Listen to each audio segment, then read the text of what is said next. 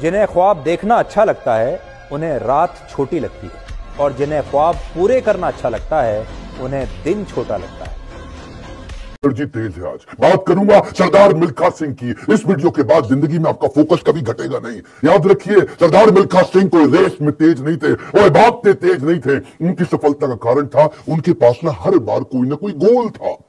पहली बार सरदार मिल्खा सिंह क्यों जीते? इसलिए नहीं जीते कि भागते थे इसलिए जीते क्योंकि उनको दूध का ग्लास चाहिए था। कोच बोला उनको और फटीक माफ़ हो जाएगा और एक्स्ट्रा डाइट के लिए बड़ा ग्लास दूध का मिलेगा। रेस में भाग नहीं पड़ पेट में दर्द हो गया, नीचे गिर गए। दोस्त बोला, ओए, भागो, और दूध मिलेगा। और दूध दूध दूध दूध दूध दूध दूध दूध दूध। आग में ना, एक क्लियर फोकस आ गया था। ये फोकस बड़ी कमाल की चीज़ है जी छोड़ दूध मिलेगा। जिधर आपका फोकस है आप वही बन जाते हैं। जहाँ आप फोकस करते हैं जैसा फो, focus is your life Bill Gates बोलते थे मेरी सफलता का कारण क्या है? मैंने बड़ी कम चीज़ों पे फोकस किया।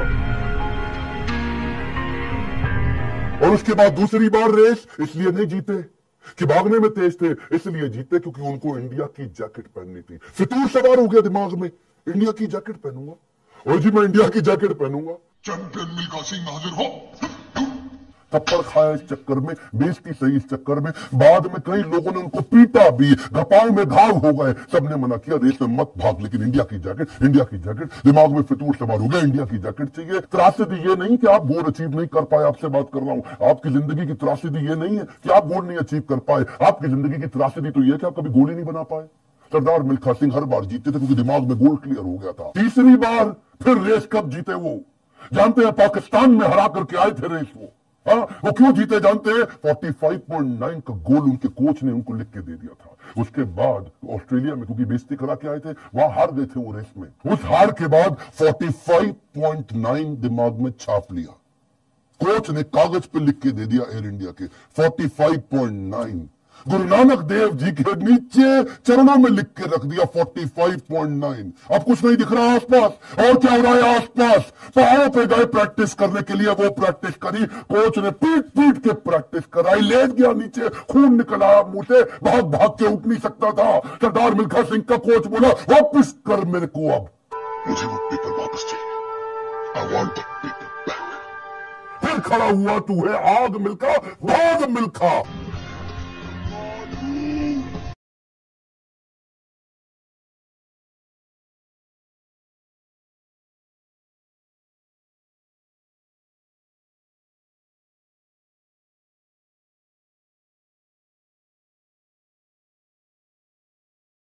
लिखो, अभी लिखो।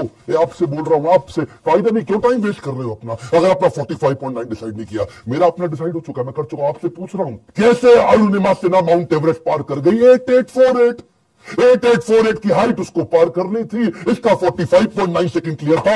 आपका गोल क्या है? हर बार वो रेस ऐसे ही जीता। पाकिस्तान में भी जब रेस हरा के आया ना तो उसके मन में लक्ष्य था कि मेरे नाम पे एक दिन देश में छुट्टी होनी चाहिए। अपनी गर्लफ्रेंड को प्रॉमिस किया था उसने। तू देखना बीरो एक दिन तेरे मिल्खा के नाम पे भी छुट्टी होगी। वो गोल क्लियर हो गया ना दिमाग में। है जी? पाकिस्तान में जाकर के हरा करके और ऐसा हराया फ्लाइंग सिख का नाम पड़ा उसका। अब मिल्खा सिंह का दूसरा लेसन पकड़ते हैं आइडेंटिफिकेशन ऑफ़ डिस्ट्रैक्शन ऑस्ट्रेलिया में प्री क्वालिफाइंग रेस में हार गया था। जानते हैं क्यों? क्योंकि ऑस्ट्रेलिया पहली बार गया था गोरी गोरी मेमे देखी थी। डिस्ट्रैक्शन हो गया। उसको शाम को पार्टी में ले गए और वहाँ पे गाना गाने लगे वुलमुल वुलमुल वॉन्डर